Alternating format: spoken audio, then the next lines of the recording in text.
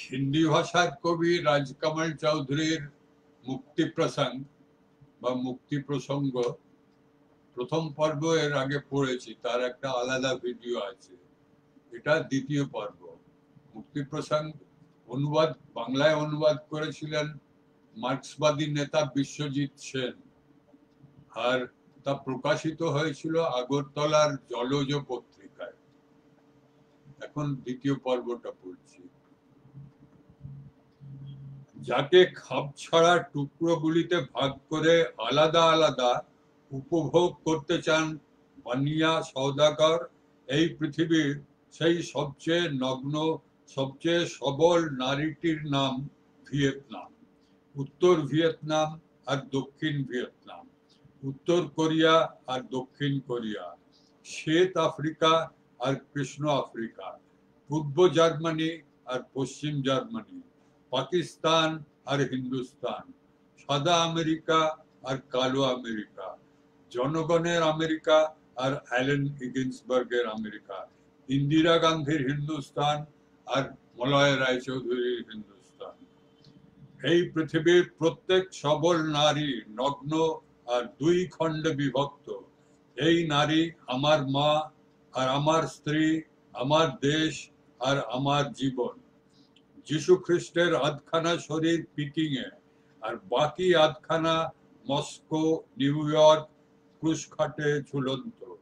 আর বাকি শহরগুলোয় কবিদের শব্দাবলীতে লেখা শান্তির যৌথ বক্তব্য। হাইড্রোজেন বোমা পরীক্ষণের ডানা ঝটফট করতে করতে পায়রা যেন মরে যায়। আর বাকি শহরগুলোয় রাজনৈতিক বেশ্যারা হলুদ মেটে ময়লা আধার ছড়িয়ে রেখে দেন যাতে তাদের শরীর প্রকট হয়ে ওঠে। নয়াদিল্লি আর ঢাকা করাচিতে এখন কোনো তফাত নেই। কোনো তফাত নেই একটি দাসনগর আর অন্য দাসনগরে মাংস আর গ্রন্থ আর ধর্ম প্রবচনে। একই সঙ্গে বিক্রি হয়, একই মূল্যে বিক্রি হয়।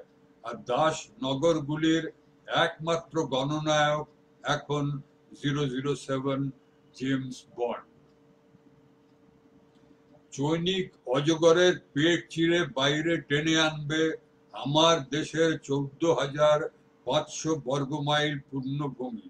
সে কেবল সেই সেই নায়ক জিরো জিরো সেভেন নায়িকাটি কোন ফিল্ম নৌটঙ্কি নাটক হাওয়ামহল জৈনেন্দ্র আয়ান ফ্লেমিং এর সেই নারী যে প্রতিটি অধ্যায় একবার অথবা অন্তিম অধ্যায় নির্বস্ত্র হয়, বহুজন হিতায়, আর আমাদের ভাগ্যবিধাতা ডলার রুবল পাউন্ড এলাকাগুলির ভিক্ষা পর্যটনে ক্রমশ নির্লজ্জ আর কর্মকুশল হতে থাকেন সাহসী আর লকহিড।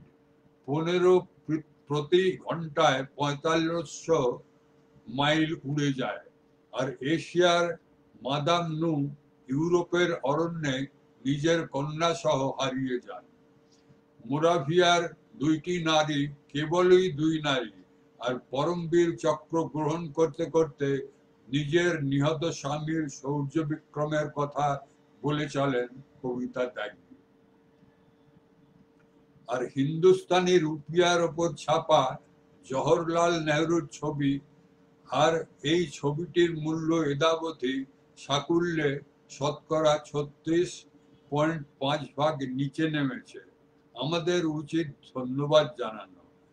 ডিসি সিন্ডিকেট আর বিদেশি বিশ্ব ব্যাংককে আর টাকার দাম পড়ে যাওয়ার সাথে সাথে ভারতীয় সংস্কৃতির দাম বেড়ে চলেছে ইউরোপে, আমেরিকায়। বলবন্ত গার্গী পাঞ্জাবি আমের বৃক্ষ রোপণ করে আসেন নিউ ইয়র্কে বিটলস খোকারা নিরবচ্ছিন্ন বাজিয়ে চলেন রবি শঙ্করীয় গেতা সেতার। সোলানের তৃতীয় পয়েন্টের পর নিজের গায়ের কথা বলতে থাকেন ফণীশ্বরনাথ রেণু। কমলি, তাজমণি নৈনা যোগিন তৃতীয় বলের পর অরুণ ভারতী নিজের ফিল্মের সহনায়ক হয়ে যান। ফ্রেজার রোডের বড় দোকানগুলি থেকে আতরের শিশি আর ফুলদানি কিনবেন বলে তৃতীয় গেলাসে এসে শম্ভুনাথ মিশ্র বলেন, মিথ্যে সাহিত্য, ইতিহাস, প্রেম একসাথে হাঁটার সব অঙ্গীকার মিথ্যে। সত্য কেবল এই গলার তাবিল। আর তিনি মীরা ও সঞ্জয়ের কাছে ফিরে যান। অতীত আর ভবিষ্যতের এই ব্যাখ্যাগুলো দেখা বা হৃদয়ঙ্গম করার জন্য আমি কখনো তৃতীয় গেলাস, তৃতীয় পয়েন্টের, তৃতীয় বয়েল, বোতলের তিসরি কসমের গুলফাম হয়ে উঠতে পারি না। নিজে এই স্থানু বর্তমানে থাকা সত্ত্বেও না হতে পারার এই বিড়ম্বনা প্রভু আমার জন্যই শুধু কেন? আমার জন্যই কেন সেন্ট্রাল হোটেলের দূরত্ব সাত সমুদ্র থেকে চোদ্দ নদীর দূরত্ব গড়ে তোলে? আমার জন্যই কেন নেই? কোনো নাম, কোনো নদী, কোনো পাখি, কোনো ফুল, কোনো সিদ্ধান্ত, কোনো বৃক্ষ, কোনো রাজনৈতিক দল, কোনো জঙ্গল, কোনো সাপ, কোনো গাঁও, কোনো নারী, কোনো সড়ক, কোনো সংগীত, কোনো নেশা, কোনো প্রেম, কোনো ঘৃণা, কোনো ঘর, কোনো আঙিনা, কোনো ছায়া। যেখানে ফিরে যেতে পারি, আরেকবার পুনর্বার যাত্রা শুরু করব বলে কেন নেই আমার বাঁচার বা শেষমেশ মরে যাওয়ার কোনো কারণ, কোনো সত্য, কোনো ন্যায়, কোনো আকর্ষণ? আমার অস্তিত্ব, অস্তিত্বহীনতার সম্পূর্ণ ফয়সলাটি যখন আমি বাদ দিতে চেয়েছিলাম, নিজের উগ্রতারাকে নিয়ে কবিতার আগে বা মৃত্যুর আগেও ত্যাগ করতে চেয়েছিলাম শঙ্কাহীন অর্থহীন জীবন ও মরণের পাটিগণিত সামলাবো বলে শ্রীচক্রে প্রস্ফুটিত পদ্মের ওপর কাম মুদ্রায় দাঁড়ানো সেই আদি কন্যা। আমি নিজের শিথিল শরীর ছেড়ে দিতে চেয়েছিলাম তার পায়ের কাছে ফয়সলার জন্য অথবা আত্মসমর্পণ। এবার আমার জখম হাঁটুতে নিজের মুখশ্রী তুলে দিয়ে বলো কবে আমি আমার গোয়েন্দা, আমার প্রতিবেশী, আমার রক্তে তীর্থ স্নানরত আমার দেবতার থেকে মুক্ত হতে পারব অথবা নয়? আমার সড়কগুলি, আমার শিরাগুলি, আমার এই ছোট দেহ শহর ফোর সিটার বিজ্ঞাপনগুলি, নকল ওষুধগুলি থেকে দৈনিক সংবাদপত্রের সকল ডিআইআর সাধারণ নির্বাচন, পুলিশ নিয়মাবলী থেকে ক্যান্সার সংসদীয় স্বৈরতন্ত্র, আকাশবাণী থেকে ঋণ প্রবণ অর্থতন্ত্র, ট্রাফিকের লাল সবুজ বাতিগুলি থেকে মুক্তি, অবসর, স্বাধীনতা, বিচ্ছিন্ন থাকার সুযোগ। কখনো পাবে কি না তুমি? আমাকে বলো, রাজকমল চৌধুরী, আমায় বলো, এই অপারেশন টেবিলে নিষ্পন্দ পড়ে থাকা তোমার শরীর থেকে বেরিয়ে আমি নিজের লেখাপড়ার ঘুমবার, থাকবার ঘরে কোনোদিন ফিরে যেতে পারব কিনা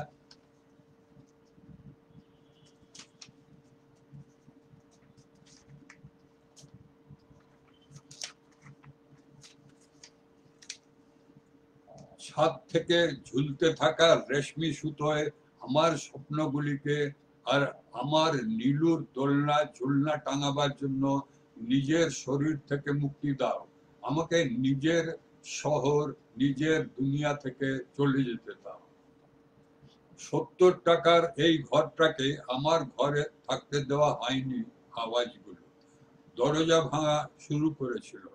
ঝনঝন করতো জানলার কাজ সার্চ লাইটের সর্বাধিনায়ক আলো, সাইরেনের সুদীর্ঘ বিষাক্ত চিৎকারের পর সামরিক কণ্ঠস্বর প্রতিবার গর্জমান। বাইরে চলে যাও। এখনই বোমা বৃষ্টি হবে এখনই আকাল দুর্ভিক্ষ ঝিপে আসবে বাইরে। চলে যাও এখনই আগ্রহী ফেটে পড়বে এই শহর। ভস্মীভূত হবে। বাইরে চলে যাও। আত্মরক্ষাত্মক পরীক্ষায় পরীক্ষায় লুকিয়ে পড়তে এই বিকলাঙ্গ, নির্লজ্জ কণ্ঠস্বরটিকে আমার সাথে যুক্ত করবে বলে ডাকঘর, সংবাদপত্র, টেলিফোন ওষুধের দোকান মনি অর্ডার বয়সের উষ্ণদিন বিক্রয়রতা মহিলারা, আকাশবাণীর প্রোগ্রামের মহাজাল যারা গুনেছে, কোন অভিযোগ, কোনো অভিযোগ করছি না তাদের বিরুদ্ধে।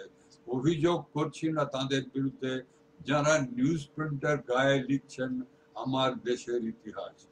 বা আমার শরীরের গল্প টেম্পারেচার চার্টে কোন, কোনো অভিযোগ করছি না। আমি শহরের ফুটপাতে আফিম আর প্রকাশকের খুঁজে ঘুরতাম। নিঃসঙ্গ, চুপচাপ, নিজের বেকার বন্ধুদের সাথে পঞ্চাশ নম্বর পানান্তে রিক্সাওয়ালা, রিফিউজি মহিলা আর হুদো হুদো বিধায়ক, পাঠ্যপুস্তক বিক্রেতা, সরকারি ঠিকাদারদের সাথে ঝগড়া করতে করতে গঙ্গা নদীর ঘাটে দাঁড়িয়ে হাসপাতাল আর আদালতের যাত্রী বোঝাই দোতলা স্টিমার সকালের ঝাপসা থেকে উচ্চতায় উঠে আসে সূর্যটাকে চুরি করে নিয়ে পালাবার ফন্দি ফিকির নিজের কনিষ্ঠ ভাইদের বোঝানো যে ঘৃণা করা প্রয়োজন মাইনে করা শিক্ষকদের। বিবাহিতা মহিলাদের লিখে চলা নিজের নির্বাচনী ক্ষেত্রের রাজ্যমন্ত্রীর জন্য বক্তৃতা, পরিবার পরিকল্পনা, পঞ্চবার্ষিকী যোজনা বিষয়ক প্রবন্ধ। চলে যেতাম বাঁশঘাট শ্মশান বা খ্রিস্টীয় গোরস্থানে। কোনো সাদা চত্বরে রাত কাটাবো বলে আমার বিরুদ্ধে কোনোই অভিযোগ ছিল না নগরবাসীদের, পুলিশদের, সাংবাদিকদের। কিন্তু সহসা একদিন রাত্রে ব্ল্যাক আউটে বেহুশ এই নগরীর আদিম আধারে আমি তাকে দেখে ফেলি শহীদ স্মারকের নিচে। উলঙ্গ সে কাঁদছিল, রক্তে মাখামাখি। আর কাতরাতে কাতরাতে পালাচ্ছিল গলিতে, শ্মশানে, রাজভবনে। ডাকতে ডাকতে আমাকেই বারবার, পড়তে পড়তে হোঁচট খেতে খেতে খিলখিল হাসতে হাসতে আমি দেখলাম তার কর্তৃত স্তন দুটি একত্রে জুড়ে বানানো হয়েছে পৃথিবীর গোলক। আর সে নির্বাবিত ল্যাম্পোস্ট গুলিকে জ্বালাবার চেষ্টায় রক্তাক্ত হয়ে উঠছে। আমি তাকে দেখালাম আর বারবার তার মুখ নিজে মুখে নিজের নাম শুনতে পেয়ে আমি নিজের কামরায় পালিয়ে এলাম। আর নিজের বইপত্রে আফিম গাঁজায় বন্দিত্ব বরণ করলাম। সে আমার নিভে যাওয়া দুই চোখে আমি তার স্তনের গোলকে বন্দি। আর বাইরে বেরোবো না না সাইরেনের চিৎকার শুনে, না রেশন কিনতে। আর আমরা দুজনেই একে অপরের নিদ্রায় বেঘর যখন সার্জিক্যাল হাসপাতালের অ্যাম্বুলেন্স গাড়ি আমাদের কামরার সামনে এসে থমকে দাঁড়াল। ধীরে ধীরে ঠান্ডা আর শীত প্রেত ছায়ায় ভরে যাচ্ছে অপারেশন থিয়েটার ঈশ্বর নামছেন আমার আঁতের ঘোরানো সিঁড়ি নিচে। আরও নিচে কিডনি হয়ে, ব্লাডার হয়ে প্রস্রাব পথের ভেতরের দরজায় হাতুড়ি দিয়ে লোহা পিটতে পিটতে নিরন্তর টোকা দিতে দিতে অ্যানেস্থেশিয়ার কালো টুপিতে আচ্ছাদিত আমার চেহারা, আমার অস্তিত্ব, নিজের অলৌকিক নগ্নতায় ডুবে গেছে সংজ্ঞাবিহীন অজ্ঞান। সময় এখন আমার জন্য কেবল নীলছে কেবলই নীলছে শূন্য। শূন্য স্থান কাল আর পাত্র গতিহীন, আকার বিহীন। শিকি হুকু কুকু শিকি শিকি ছকু যে কুকু সকু যে শিকি কবিতার আগে এই জৈন জেন মন্ত্রটি পাঠ করলেন অ্যালেন গিসবার্গ আকারের চাইতে শূন্য নয় ভিন্ন, শূন্যের চাইতে ভিন্ন নয় আকার। আকারই শূন্য, শূন্যই আকার। অ্যানাস্থেসিয়ার কালো টুপিতে ঢাকা চেহারাই গতি এবং অগতি। আর ইতিহাস পুস্তকের মতো খোলা অস্তিত্ব আছে এবং নেই। একই স্থান, একই কাল একই পাত্রে আমার হওয়া আর না হওয়ার এই অনুভূতি আমাকে তার পা দুটির নিচে স্থাপিত করেছে যেন শিব মূর্তি সমাধিস্থ। এবার তুমি আমার পূজা করো উগ্রতারা। আমি সাহিত্য বর্তমান, আমি শিব। তোমার সম্পূর্ণ আত্মনিবেদন। স্বীকার করার অধিকার আছে একমাত্র আমার। তোমার পায়ের নিচে থাকা সত্ত্বেও তোমার জিভে, তোমার স্তনে, তোমার জনিপথে, তোমার রক্ত ধমনীতে তোমার হৃদয় পিণ্ডে তোমার মাংসমজ্জায় অস্থিতে, তোমার জরায়ুতে থাকার বারবার এরকমই থেকে যাবার অধিকার। আমি অনুভব করেছি এই প্রজ্বলন্ত শ্মশান শীতল হিমখণ্ড অপারেশন টেবিলে কবিতার আগে আর মৃত্যুর আগে। তুমি আমার পৃথিবী, আমি তোমার ইষ্ট দেবতা আর কবি। তুমি আমাকে জন্ম দাও আর আমার সাথে রমণ করো। তুমি আমাকে মুক্ত করো আর আমি তোমাকে মুক্ত করি নিজের মৃত্যুতে নিজের কবিতা, কবিতায়। প্রসঙ্গ এক মৃত ব্যক্তি যে কোনো মৃত ব্যক্তি, কেবল একটি মৃত ব্যক্তি নয়, কোনো মতে। সরকারি ট্রান্সপোর্ট যাকে থেতলে দিয়েছে, সেই কুকুর অথবা কুকুরের পৃষ্ঠতলে বিড়ালের ফুলে ওঠা লাশের চাইতে বেশি কাব্যিক, বেশি সুন্দর, বেশি কামোত্তেজক হয়ে হয়ে থাকে মৃত ব্যক্তি। হাসপাতালের পালঙ্কে সাহিত্য বেহুশ আমাকে দেখে এক অপরিচিতা মহিলা শোক প্রকাশ করার জন্য আসতেন যিনি এমনটাই বলতেন। প্রসঙ্গ দুই, আমার জন্ম হয়েছিল ত্রিশুরি পাহাড়ে। মন্ত্রসিদ্ধ গুহায় কালী মূর্তির পাশে। সদ্যজাত আমাকে ছেড়ে চলে গিয়েছিলেন আমার মা। গ্রহণ করবেন বলে জল সমাধি, মৃত্যুর কিছুক্ষণ আগে তিনি স্বীকার করেছিলেন নিজের অপরাধ। অথবা ফিরে এসেছিলেন এই দেখে যে নিচে উপত্যকায় নিবিষ্ট প্রতীক্ষায় আছে শিশু ভক্ষণকারী বৃদ্ধেরা। ত্রিশুলি গুহার সেই সাংকেতিক পথে তাই ছড়িয়ে রয়েছে পাথরের চাঙড়গুলিতে আলাদা আলাদা বন্টিত আমার জীবন বাহান্ন খণ্ডে বিভক্ত, আমার চোখের আকাশ। সেই পথ দিয়ে পালাতে পালাতে আমার মায়ের হাঁটু, পায়ের আঙুলগুলো চেটো হাঁটুর নিচের পশ্চাৎ ভাগ সূচি মুখ চাঙড়ের মতো হয়ে গিয়েছিল। রক্তাপ্লুত রক্তের ছিটে আমার আকাশের বিচ্ছিন্ন খণ্ডগুলিকে সূর্যমুখী তুলতে তুলতে এখন যাদের এক অখণ্ড সুমেরু সুমেরু করে তুলব বলে আমি এক একটি চাঁড় ধারাবাহিক ভাবে রাজেন্দ্র সার্জিক্যাল হাসপাতালের নিচে ছুঁড়ে ছুঁড়ে ফেলছি। আমার মা তীর্থময়ীর আরণ্য স্মৃতিচারণে একটি একটি করে আকাশের টুকরোগুলিকে অলোক নন্দায়, শেষমেশ কবিতায় ফিরে আসার জন্যই এ অনিবার্য হয়ে উঠেছিল যে আমার মা বরণ করে নেবেন মৃত্যু। অবশেষ কবিতায় তাকে জীবিত করার জন্য ত্রিশলী গুহায় মন্ত্রসিদ্ধ আমি জন্মগ্রহণ করলাম। প্রসঙ্গ তিন প্রতিবার হয় প্রকৃতির সাথে, নিদ্রাময়ী, অচেতন, সমাধিস্থ প্রকৃতির সাথে বর্বর পৈশাচিক, বলাৎকার। এখনও আমি রচনা করতে চাই কোনো স্বপ্ন, কোনো কবিতা। রক্ত নালিকা থেকে ব্রহ্ম নালিকা অব্দি কোনো যাত্রাপথ আমাকে সম্ভব করতে হয়। বিপরীত মুখে বলাৎকৃত হয়েও এই মদালসা সৃষ্টির ধ্বজাদণ্ড ধারণ পূর্বক নিজের ষড়চক্র পথে রতি ব্যাকুলত উত্তপ্ত রচনায় যোগিনী, সহযোগিনী স্থান কাল পাত্রের শারীরিক স্থিতির শীল ভঙ্গ যদি করে, আমার কবিতা তবে তার আর কিছু করা উচিত নয়। প্রসঙ্গ চার, সুরক্ষায় সন্মোহিত মানুষ সর্বপ্রথম মরে তার শরীরের আশেপাশে তুলে দিতে দিতে দেওয়াল। মৃন্ময় ভিক্ষাপাত্র এগিয়ে আরও এগিয়ে আরও এগিয়ে দিতে দিতে গম আর সশস্ত্র বিমানগুলির জন্য যখন কিনা কেবল নির্মহ হলে পরেই নির্বস্ত্র, নিরন্ন, রুগ্ন মানুষ সুরক্ষিত থাকে। প্রসঙ্গ পাঁচ, নিজের দেহ সীমাগুলির বিষয়ে ঈশ্বরের কাছে একটি প্রার্থনা রাখতে পারে। আধুনিক মানুষের ব্যক্তিগত প্রার্থনা নিজের মুক্তির জন্য। সংগঠন ও সংস্থাগুলির বিরোধী হয়ে যাওয়া, অর্থাৎ শাসনতন্ত্র ও সেনাদের বিরোধী হয়ে যাওয়া, নিজের একককে বাঁচানোর জন্য একটি প্রার্থনা বাস্তব জীবনেও কবিতায় প্রসঙ্গ ছয়, তেরো হাজার বছর হলো মেরুদণ্ড পর্বতের কালো চাহর থেকে কুঁদে নেওয়া তেরো বছরের এক মেয়ে নাম উগ্র তারা সে কিন্তু উগ্র নয়, তারাও নয়। তবু আমার জীবন জন্য কেবল উগ্র তারা প্রসঙ্গ সাত।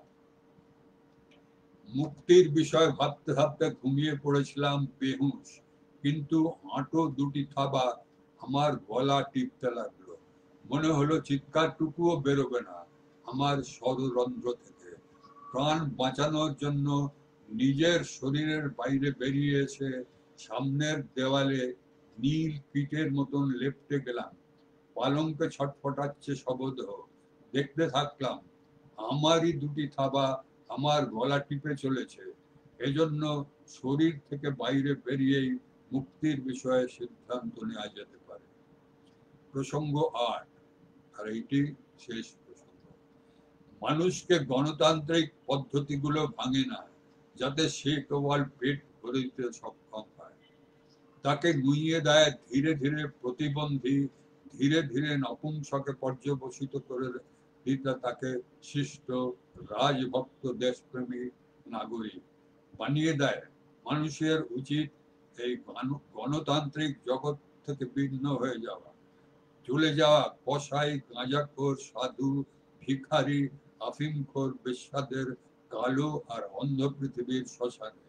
হাত পোড়া সহদেহ শবদেহ ছিঁড়ে ছিঁড়ে খাওয়া বরং ভালো। জীবিত পড়শিদের ভক্ষণ করা থেকে। আমাদের আর সামিল হওয়ার নেই। ধরিত্রী থেকে মানুষকে সদা সর্বদার জন্য নিশ্চিহ্ন করে দেওয়ার ষড়যন্ত্র।